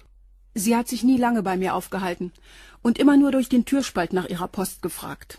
Sagen Sie, Madame, Cornet, sagen Sie, Madame Cornet, der Mann, der Sie besuchte, war es eigentlich immer derselbe? ich habe immer nur den einen hinaufgehen sehen. Ein Musiker. Woher wissen Sie das? Hm, weil ich ihn ein paar Mal mit einem Saxophonkasten gesehen habe. War er gestern Abend hier? Ja, gegen zehn Uhr. Er ist nur etwa zehn Minuten oben geblieben und als er wegging, schien er es eilig zu haben. Sah er erregt aus? Nein, Hat sie gestern Abend noch anderen Besuch empfangen? nein, Glauben Sie, dass der Musiker Ihr Geliebter war? ich weiß es nicht. Was meinen Sie damit? Nichts. Ich dachte an die Miete. Ich verstehe. Also nicht einer von den Musikern, die ihrer kleinen Freundin eine solche Wohnung bieten können.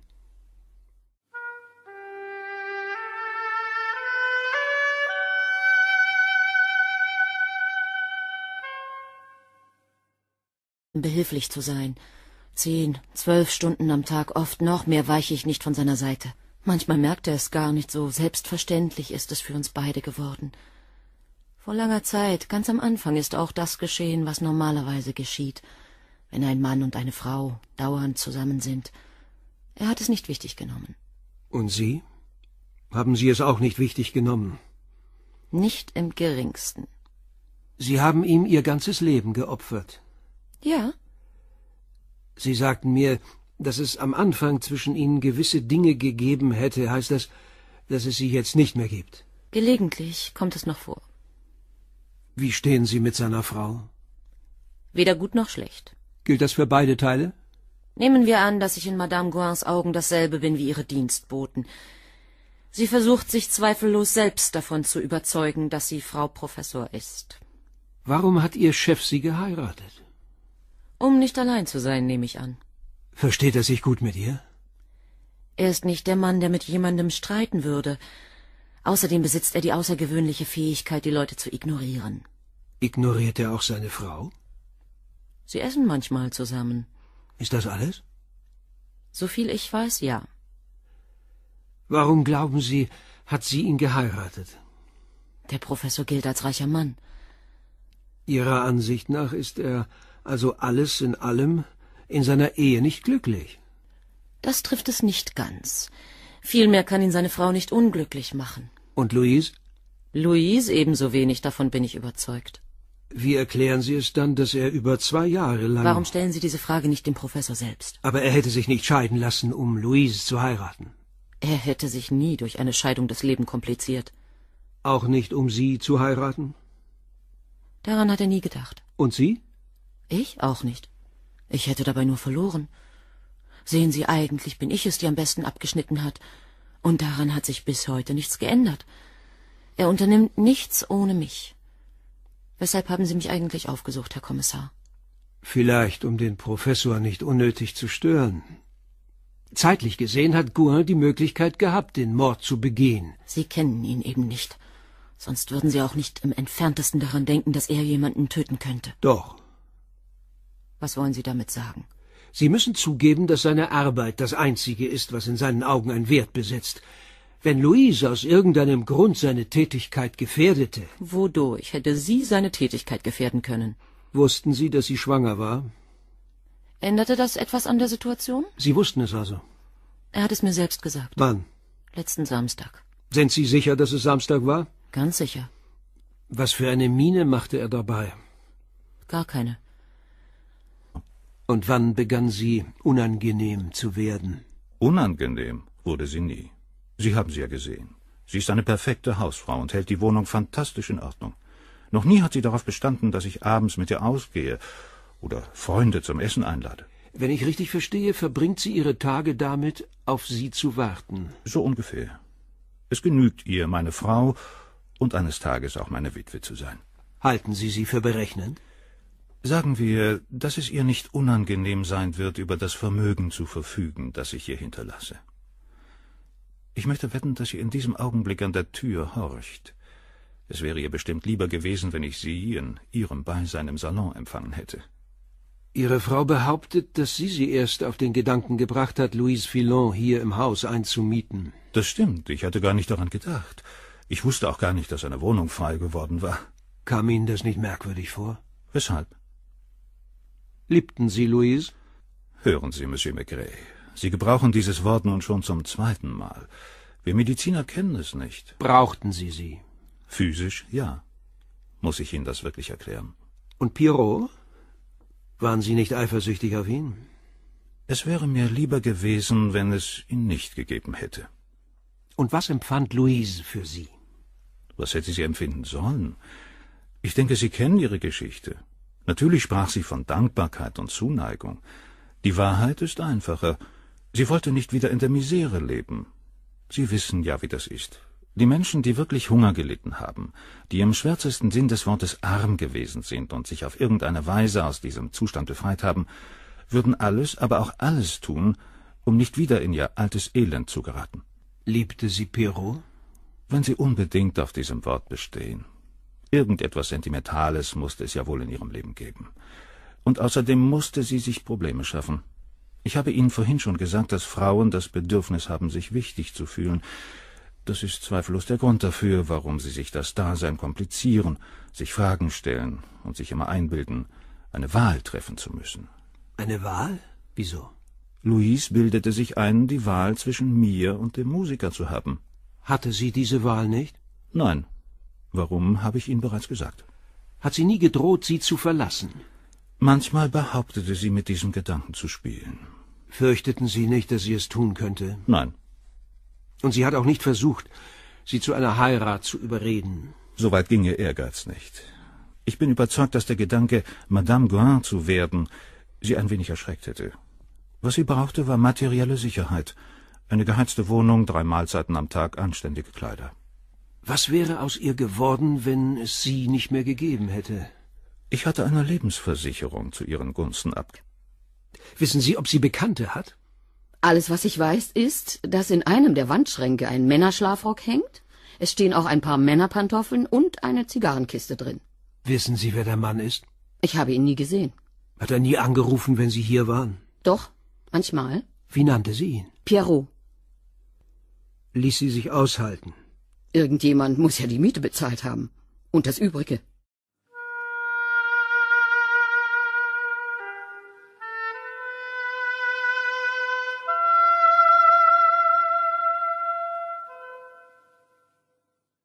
Wie alle Portierslogen dieses Stadtteils hatte auch diese etwas Gutbürgerliches.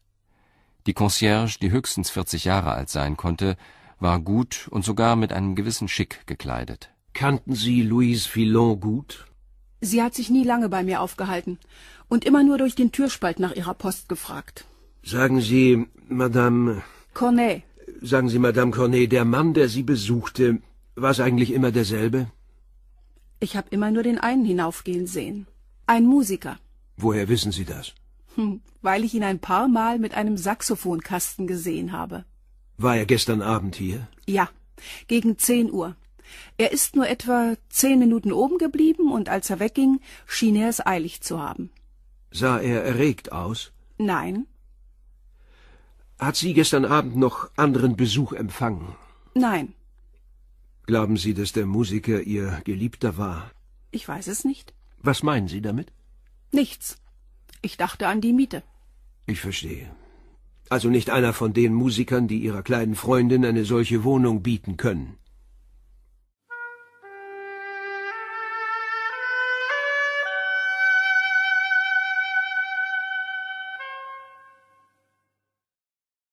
Die Putzfrau saß noch immer in der Küche von Louise Filon. Sie trank jetzt keinen Kaffee mehr, sondern rauchte eine Zigarette. Womit verbrachte Ihre Arbeitgeberin eigentlich ihre Zeit? Gegen zehn stand sie auf, oder vielmehr sie erwachte, stand aber nicht gleich auf. Ich brachte ihr dann den Kaffee ans Bett, sie trank ihn, rauchte und las dabei. Was las sie denn? Zeitschriften und Romane, oft hörte sie auch Radio. Telefonierte sie? Gegen elf, fast jeden Tag. Mit Pierrot? Haben Sie eine Ahnung, was sie nachmittags tat? Nach den schmutzigen Schuhen zu schließen, muss sie wohl ausgegangen sein. Aß sie abends zu Hause? Es war nur selten schmutziges Geschirr da. Glauben Sie, dass sie sich mit Pierrot traf? Mit ihm oder mit einem anderen. Sind Sie sicher, dass Sie ihn nie gesehen haben? Ganz sicher. Und einen anderen Mann auch nie? Nein. Hat sie Ihnen erzählt, wo sie herkam? Den größten Teil ihres Lebens, 24 Jahre, hat sie im Chapellviertel zugebracht. Auf der Straße so. Bei einem Jahr dort wohnte und in Wirklichkeit Pierre Hérault hieß, 29 Jahre alt und in Paris geboren war. Er bekomme Damenbesuch von einer, so die alte Frau im Büro des Hotels, die sich lange genug selbst in der Gegend herumgetrieben habe. Sie heiße Louise. Jetzt trage sie Pelzmäntel und komme immer im Taxi daher. In einem Taxifahrerlokal fand Janvier heraus, dass Pierrot um Viertel nach zwölf noch dagewesen war. Dann war ein Zeitungsverkäufer vorbeigekommen, und nachdem Pierrot einen Blick auf die Titelseite geworfen hatte, war er aufgesprungen und hinausgestürzt. Im Grelot, der kleinen Tanzbar, in der Pierrot arbeitete, waren die Wirtsleute betroffen, als Janvier ihnen sagte, dass Louise tot sei. Früher sei sie fast jeden Abend da gewesen. Das sei allerdings zwei Jahre her. Die Wirtsleute gaben an, dass Pierrot am Vorabend gespielt habe und um zwanzig nach neun von Louise angerufen worden sei. Er habe schnell zu ihr gemusst. Um kurz vor elf sei er zurückgekommen. Er habe bis ein Uhr morgens gespielt. Als dann Schluss gewesen sei, habe er wie immer noch ein Glas getrunken. Wenn er gewusst hätte, dass Louise tot sei, hätte er das nicht fertiggebracht. Er sei verrückt nach ihr gewesen, so die Wirtsleute. Dann erzählten sie Janvier noch, dass Louise vor zwei Jahren schwer krank gewesen sei. Es habe keine Hoffnung mehr bestanden, eine Gehirnsache. Dann hätten sie sie operiert und ein paar Wochen später sei sie wieder hergestellt gewesen. Danach sei sie nicht mehr ins Viertel zurückgekommen. Zuerst habe sie eine Wohnung in der Rue Lafayette gehabt, dann in der Avenue Carnot. Das war alles, was Janvier in Erfahrung gebracht hatte, als er gegen drei Uhr in das Polizeipräsidium am Quai des Orfèvres zurückkehrte. Maigret saß in seinem Büro in Hemdsärmeln, weil der Raum überheizt war. Die Luft war blau von Pfeifenrauch. Er versuchte Ordnung in seine Gedanken zu bringen. Irgendwo muss es einen Mann geben, der Louise die Wohnung in der Avenue Carnot eingerichtet hat. Wenn die Concierge nicht gelogen hat, so empfing Louise außer Pierrot keine anderen Besucher. Die Männerpantoffeln und der Schlafrock aus dem Wandschrank gehören bestimmt nicht dem Saxophonspieler. Auf jeden Fall hat noch ein anderer Mann als Pierrot Louise Filon regelmäßig besucht. Wenn ihn die Concierge nie gesehen hat, dann wohnt er vielleicht im Hause selbst. Die Liste der Mieter wohnt genau über ihr. Professor Gouin, einer der größten Spezialisten für Gehirnoperationen.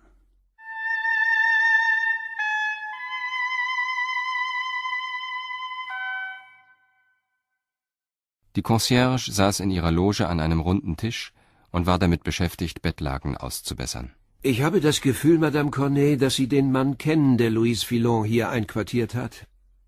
Ich werde den Verwalter aufsuchen. Er kann mir bestimmt mit. Auch nicht der Ruhm, den er in der ganzen Welt genoss. Maigret hatte den Eindruck, dass zwischen ihm und Louise Geliebtem eine gewisse Ähnlichkeit bestand. Es kam ihm so vor, als hätten sie beide die ungefähr gleichen Ansichten über die Menschen und das Leben aber doch nicht ganz die gleichen und vor allem nicht die gleichen Reaktionen. Sie waren eher Gegensätze, aber gleichwertige Gegensätze. Er hatte sein Möglichstes getan, um sich vorzubereiten. Er musste sich selbst daran erinnern, dass er sich in seiner Eigenschaft als Kommissar der Kriminalpolizei in die Avenue Carnot begab und nicht als Mensch, der sich für einen anderen Menschen interessierte. Es war zwanzig vor neun, als Maigret den Messinggriff der elektrischen Klingel bei den Gouins zog. Er hörte Schritte näher kommen, und ein ziemlich junges, recht hübsches Dienstmädchen in schwarzem Kleid und schmuckem Schürzchen öffnete ihm die Tür. Das Mädchen hängte Maigrets Mantel in den Schrank und verschwand. Dann kam Gouin. Er wirkte noch größer, noch magerer, als Maigret ihn sich vorgestellt hatte. Er ging ihm durch einen Korridor voran, der in die Bibliothek führte. Die Wände des Raumes waren fast ganz mit gebundenen Büchern bedeckt. Sanftes Licht erhellte den Raum, und im Kamin brannten Holzscheite. Gouin deutete auf ein paar Fauteuils und nahm selbst Platz. In diesem Augenblick begegneten sich ihre Blicke zum ersten Mal, und Maigret las in den Augen des Professors etwas wie einen Vorwurf. Vielleicht, aber dessen war er sich nicht ganz sicher, sprach auch Enttäuschung daraus. Das war schon deshalb schwer zu sagen, weil Gouin äußerlich eher banal wirkte. Die Augen waren klein, hell und ohne besonderen Glanz. dennoch hatte sein Blick etwas ungemein Durchdringendes. Jetzt, da dieser Blick auf ihm ruhte, hätte Maigret schwören können, dass Gouin auf ihn ebenso neugierig war, wie er auf Gouin. Fand auch Gouin Maigret banaler, als er ihn sich vorgestellt hatte?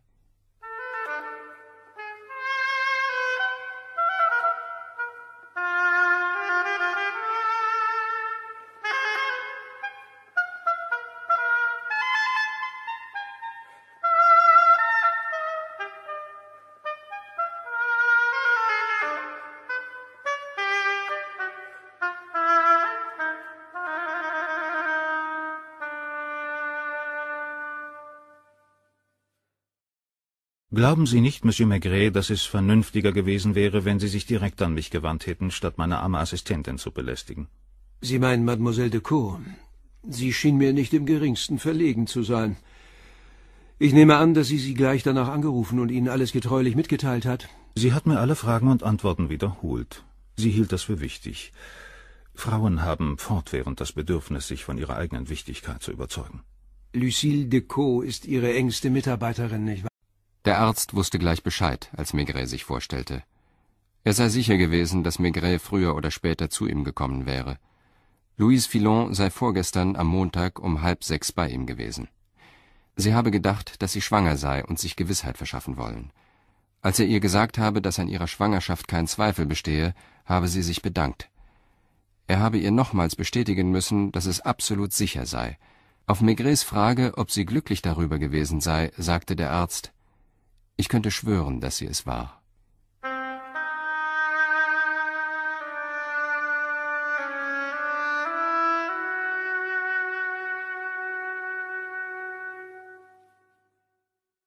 Als Maigret sein Büro betrat, standen belegte Brote und Bier auf einem Tablett bereit.